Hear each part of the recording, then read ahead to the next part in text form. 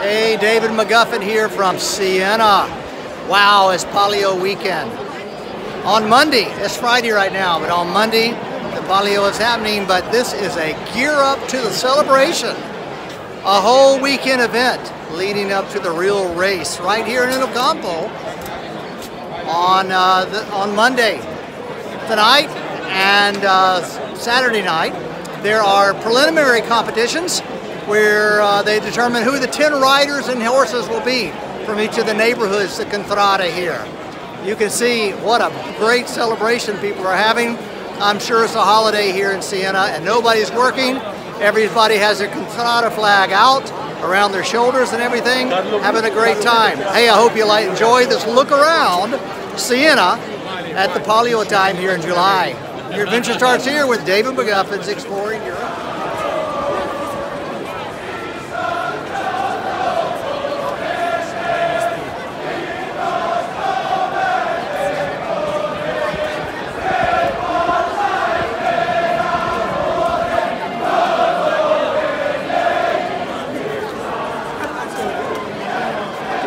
falando.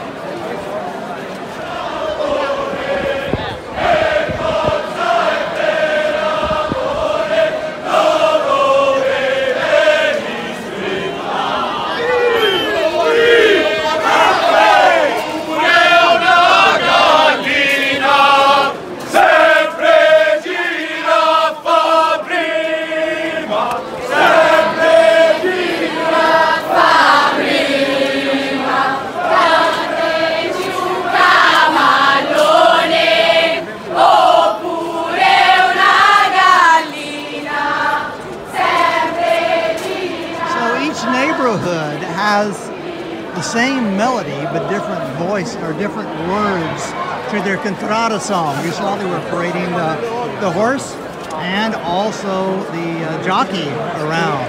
Each Contrada coming up here. Fantastic. Wow, what an amazing experience to be right here on Il Campo with all this celebration. You know, maybe one day I should have a uh, David McGuffin Exploring Europe trip to Siena for actually one of the official palios. I think it's like being in Times Square in New York City on New Year's Eve. Packed out all over the place here.